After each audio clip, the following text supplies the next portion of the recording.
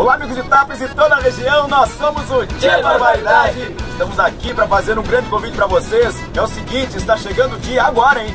Dia 20 de agosto, nós vamos estar onde, Pê? Em Tapes, no baile de 60 anos do CTG Província de São Pedro. Uma baita festa para você curtir a noite inteira ao som do Tia Barbaridade. Até lá! Balançou o coração, mas ela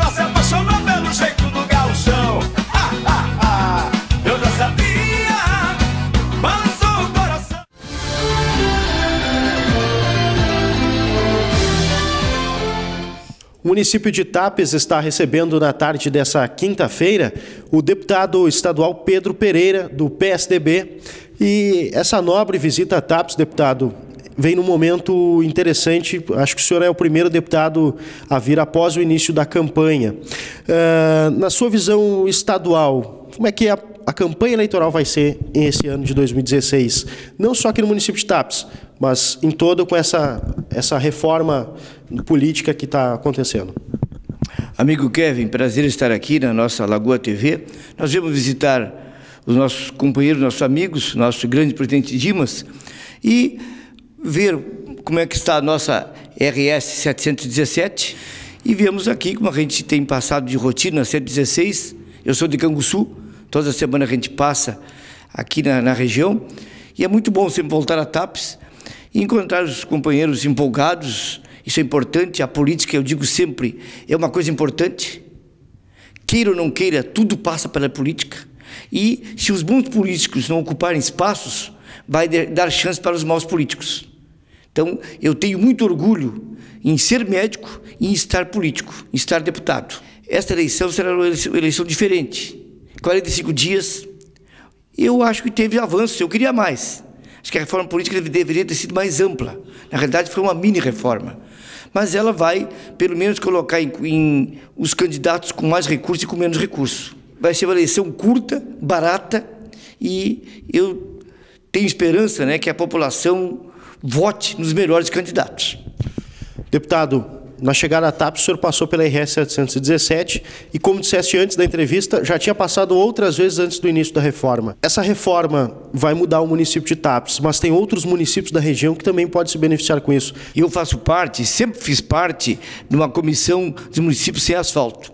Quando eu cheguei na Assembleia, era em torno de 120 municípios sem asfalto. Hoje ainda tem, tem em torno de 74 sem asfalto. Isso é muito lerdo, é muito lento.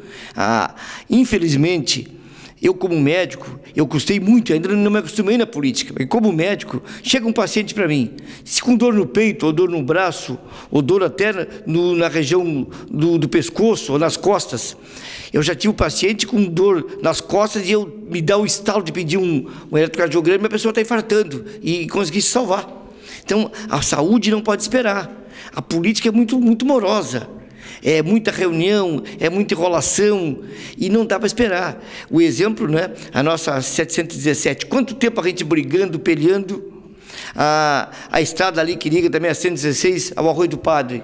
Começou há quanto tempo? Que São Lourenço Canguçu está no, no, tá no nono governador, 32 anos praticamente. E agora que está terminando isso vale para lá o Cerrito, a, RS Cerrito, lá embaixo Pierre Machado, Pedras Altas, então é muito, muito lerdo.